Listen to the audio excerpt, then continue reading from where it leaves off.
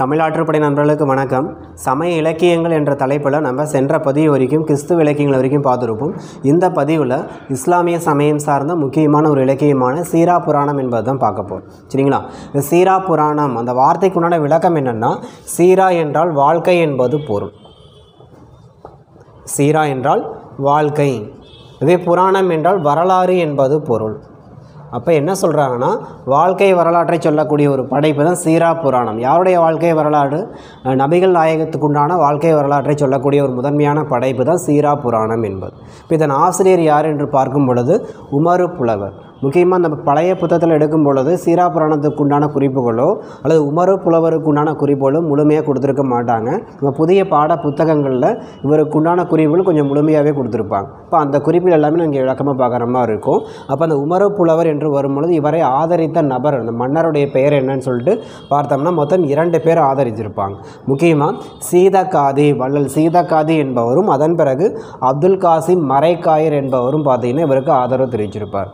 அப்போ உமரு புலவரை ஆதரித்தவர் என்று வரும்பொழுது மொத்தம் இரண்டு பேர் வள்ளல் சீதகாதி மற்றும் அப்துல் காசிம் மறைக்காயர். இவருடைய ஆசிரியர் அதாவது இவர் அந்த நூலுக்கு உண்டான ஆசிரியர்னு உமரு புலவர். உமரு புலவரின் ஆசிரியர் என்று வரும்பொழுது கடிகை முத்து புலவர். இது தேர்வுல பழைய தேர்வுகளில் இந்த குறிப்பானது கேட்டிருக்காங்க சரிங்களா? இவர் எழுதிய வேறொரு படைப்புன்னு சொல்லி பார்த்தோம்னா இதுவும் சென்ற ரெண்டாயிரத்தி பத்தொன்பது தேர்வில் ஒரு கேட்கப்பட்ட ஒரு குறிப்பு. என்னென்னா உமரு புலவர் எழுதிய வேறொரு படைப்பு முதுமொழி மாலை என்பது. அந்த முதுமொழி மாலையில் வரக்கூடிய பாடல்களின் எண்ணிக்கை எத்தனைன்னு சொல்லி கேட்டிருந்தாங்க. மொத்தம் எண்பது பாடல்கள். சரிங்களா? அப்போ உமரு புலவர் எழுதிய படைப்பு என்று வரும்போது சீரா புராணம் மட்டும் கிடையாது முதுமொழி மாலை என்ற இன்னொரு படைப்பும் அவர் எழுதியிருக்கார். சரிங்களா? அடுத்து இவருடைய காலம் என்று வரும்பொழுது கிபி பதினேழாம் நூற்றாண்டு. சரிங்களா? அடுத்து இவருக்கு உண்டான ஒரு சிறப்பு பெயர் நம்ம பாடப்பகுதியில் பெரும்பாலும் இல்லை. என்னன்னு சொல்லி பார்த்தோம்னா இஸ்லாமிய கம்பர்னு சொல்லுவாங்க. ஆக கிறிஸ்துவ கம்பர் என்று வரும்பொழுது எச். ஏ. கிருஷ்ணபிள்ளை என்பது நம்ம சென்ற பதவியில் பார்த்தோம். அதே இஸ்லாமிய கம்பர் என்று வரும்பொழுது யாருன்னா உமரு புலவர். சரிங்களா? இப்போ இவை அனைத்துமே இவருக்குண்டான அதாவது உமரு புலவருக்குண்டான குறிப்புகள். அடுத்து இந்த நூலுக்குண்டான குறிப்பு என்று வரும்பொழுது இந்த பாடல் எண்ணிக்கைன்னு சொல்லி பார்த்தோம்னா மொத்தம் ஐயாயிரத்தி இருபத்தி ஏழு பாடல்கள். அந்த ஐயாயிரத்தி இருபத்தி ஏழு பாடலில் மூன்று காண்டங்களாகவும் தொண்ணூற்றி இரண்டு படலங்களாகவும் பிரிச்சிருப்பாங்க சரிங்களா? இப்போ இதுவும் இரண்டாயிரத்தி பத்தொன்பது தேர்வில் கேட்கப்பட்ட ஒரு கேள்வி தான் ஐயாயிரத்தி இருபத்தி ஏழு பாடல் அதாவது சீரா புராணத்தில் இடம்பெறக்கூடிய பாடலுடைய எண்ணிக்கை எத்தனைன்னு சொல்லி ஒரு முறை கேட்டாங்க. ஐயாயிரத்தி இருபத்தி ஏழு பாடல்கள். சரிங்களா? அடுத்து முக்கியமான ஒரு குறிப்புனா அந்த மூன்று காண்டங்களின் பெயர் தேவை. அந்த மூன்று காண்டங்கள் என்ன? அதில் வர இடம்பெறக்கூடிய படலங்களின் எண்ணிக்கை என்னென்ன அப்படிங்கிறது வந்து பார்த்தீங்கன்னா சென்ற புத்தகத்தில் தான் பழைய பாட புத்தகங்களையும் குறிப்பிட்டிருப்பாங்க புதிய பாட புத்தகங்களையும் குறிப்பிட்டிருப்பாங்க. அதையும் நம்ம விளக்கமாக தெரிஞ்சுக்கணும். இப்போ என்னென்னா விலாதத்து காண்டம் அல்லது பிறப்பியல் காண்டம். இதில் இடம்பெறக்கூடிய படலங்களின் எண்ணிக்கை மொத்தம் இருபத்தி நான்கு படலங்கள். அடுத்து நுபுவத்து காண்டம் அல்லது செம்பொருள் காண்டம்னு சொல்லுவாங்க. இதில் வரக்கூடிய படலங்களின் எண்ணிக்கை மொத்தம் இருபத்தி ஒன்று அடுத்து ஹிஜ்ரத்து காண்டம் அல்லது செலவியல் காண்டம். மொத்தம் நாற்பத்தி ஏழு படலங்கள் ஆக மொத்தம் தொண்ணூற்றி இரண்டு படலங்கள் மூன்று காண்டங்களாக சொல்லப்பட்டிருக்கும். சரிங்களா?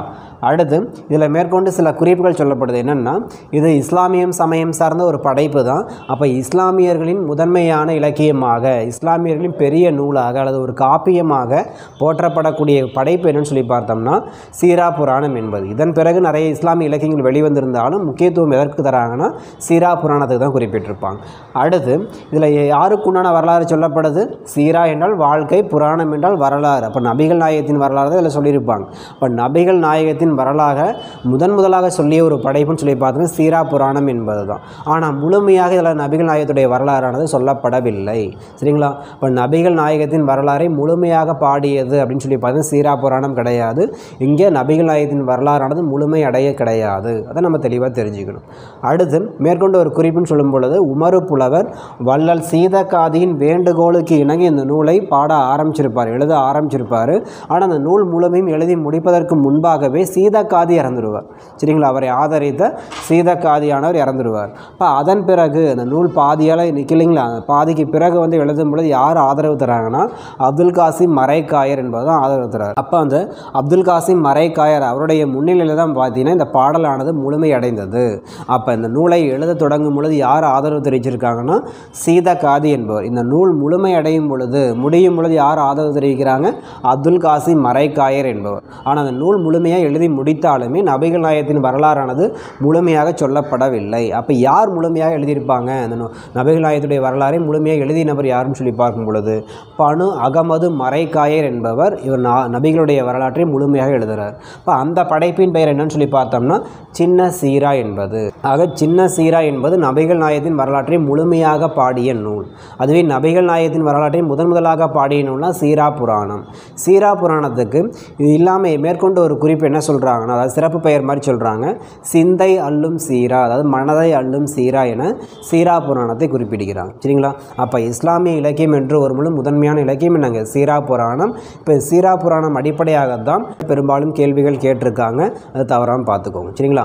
சரி அடுத்த பதிவில் அதாவது இத்துடன் வந்து பார்த்திங்கன்னா சமயம் சார்ந்த இலக்கியங்கள் என்பதும் முடியுது. இப்போ அடுத்து வரக்கூடிய பதிவுகளை நம்ம என்ன பார்க்க போகிறோம்னா சிற்றிலக்கியங்கள் அப்படிங்கிற ஒரு பதிவு தான் பார்க்க போகிறோம் தவறாமல் பார்த்துருங்க பண்ணுறேங்க நன்றி.